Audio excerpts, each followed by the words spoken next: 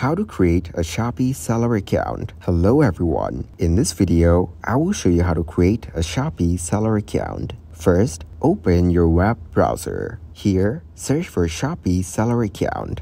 Click on this link from the results. It is linked with the Shopee Seller Center. Now, click on the sign up button. Firstly, add your phone number to continue. You can also continue by choosing your Facebook or Google account. Click on Continue to proceed further. Once done, you'll be taken to this dashboard.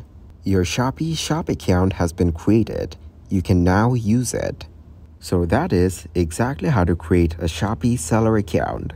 Thank you guys for watching this video. Hope you got some value. Make sure to like the video and subscribe to the channel to get notified of new videos.